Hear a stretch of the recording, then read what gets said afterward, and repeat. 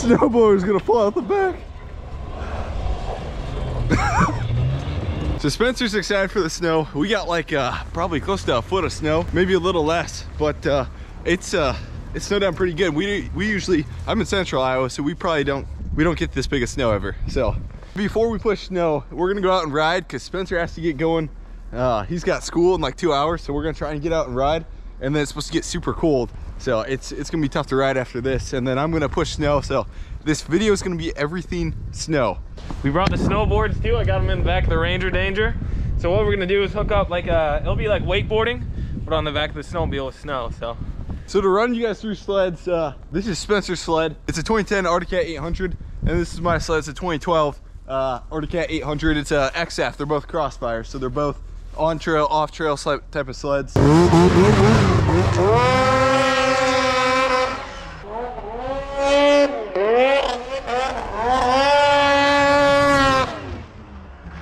So a while back, C&A Pro Skis, uh, if, you, if you guys don't know, I uh, started another channel six years ago, and that's the squad. It's all Farming Simulator gaming, but on there we post, uh, I put every once in a while I'll post in, in, real life videos, and so we did a lot of snowmobiling videos last year, and C&A Pro Skis reached out at the end of the year, and uh, they sent out some skis, so we put those on.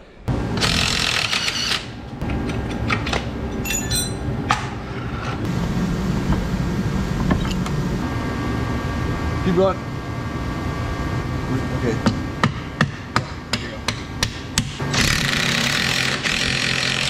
We got a surprise. Tyler stopped by. He's just a random subscriber. Lives close by. Stop by. You want to ride Stoneville? Sure. Jump on.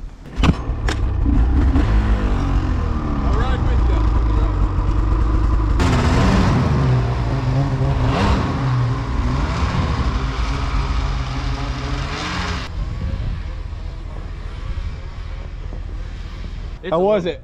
It was fun. a bit different than ATV, yeah, right? It's a little bit different. These clips are like all over the place, so I should probably explain this a little better. What me and Spencer like to do is we like to just go ride the ditches, and then you can like ride from small town to small town, and you can just there's kind of little trails that are marked, and you can ride all over the place.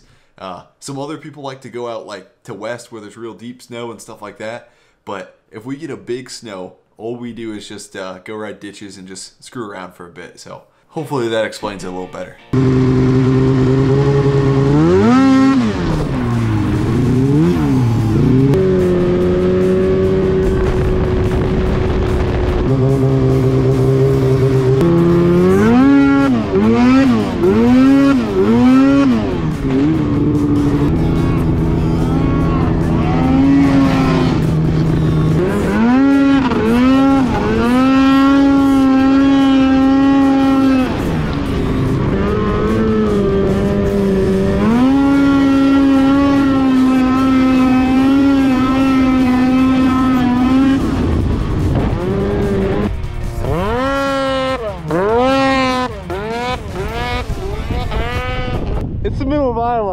much snow, man. This is fun. Yes, sir. Full send it or nothing. Let's go.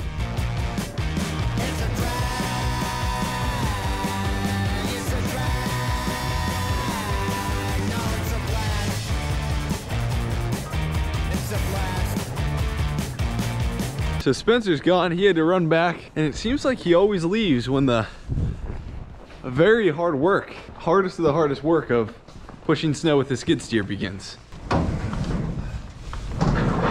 We're gonna fire this up, uh, the Kubota, and I'm gonna push, I'm gonna plow this driveway, and then maybe another one over there, quick.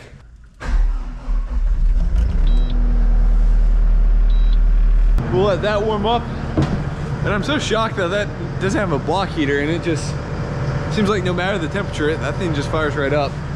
Our old John Deere skid steer had a block heater and it it didn't have glow plugs though, I don't think, so. It seems like every spring when all the snow melts, it always pushes into the building. So I'm trying to get as much snow as possible away from the building.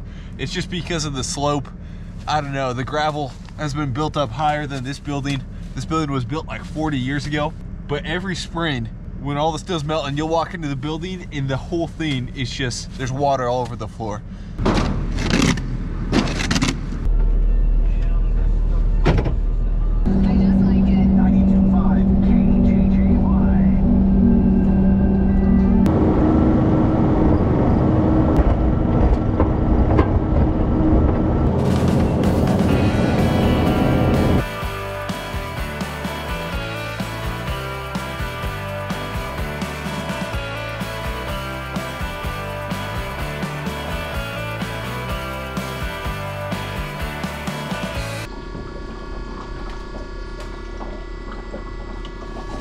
One thing that's kind of weird about that skid steer that it takes some time getting used to is that like that bubbling, I think it's DEF sound on that skid steer.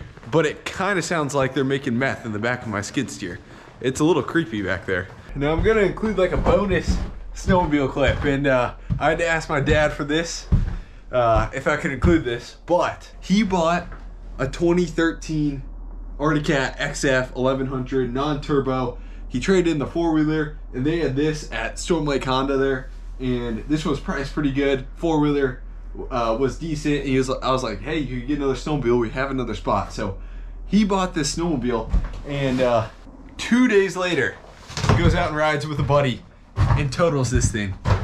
So, well, it's not too bad, to be honest. It's a heck of a lot better than I thought it was gonna be. The tunnel is bent in and the track completely rubs on the snowmobile. The whole tunnel is bent and uh, the front's not too...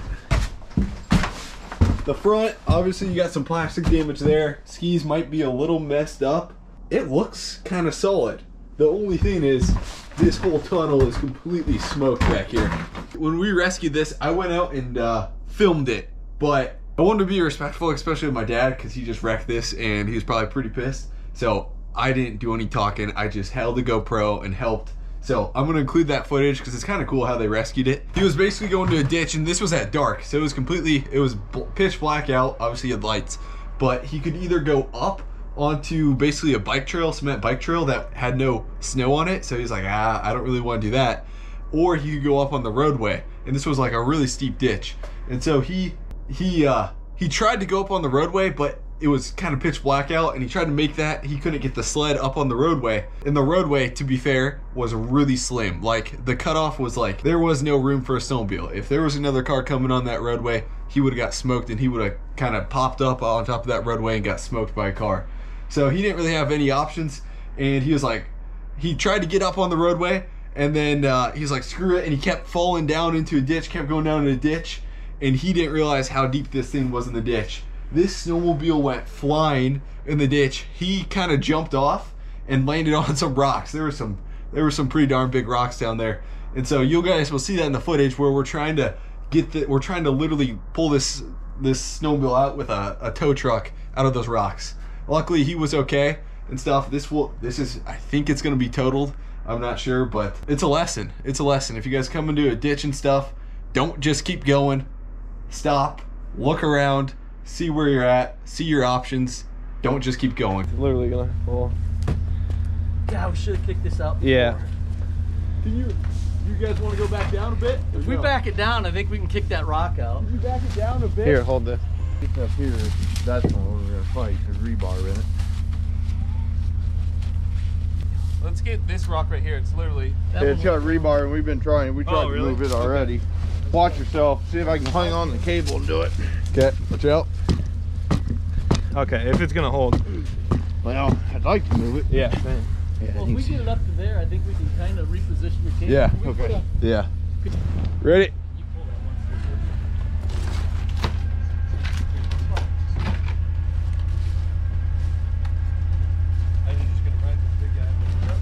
You guys want to swing that? it. Stop. Yeah. Yep.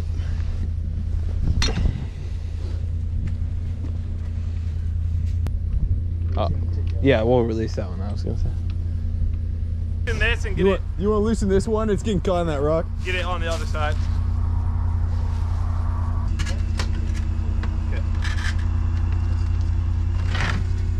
Pull at the uh, pull at the slack. You want to pull this one too? You Should be able to go with that one now for a little while. Yep. Boulder's pretty loose right here,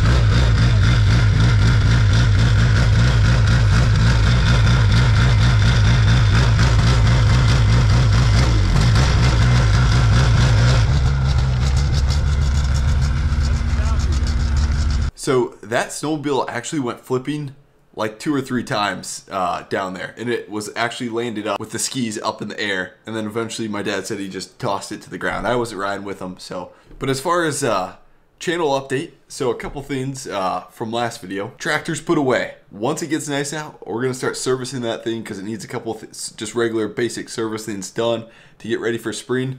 Two is planner. I'm still in the search for one online. I haven't found one yet. Uh, I there's a couple places I'm going to check out that are local dealers around here. Then I'm going to go look at some planners. And then the building's not all finalized yet. The 60 by 120 we're trying to put up.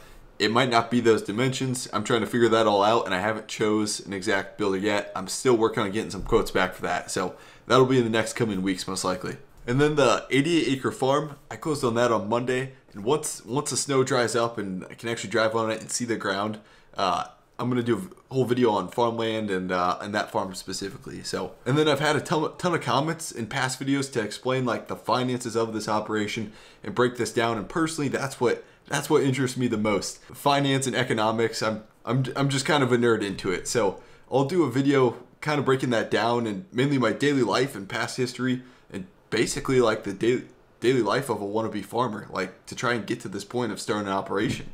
So I need to make that video, and that's probably going to be the next video. Thanks again, guys, and we'll see you in the next one. Thanks, guys.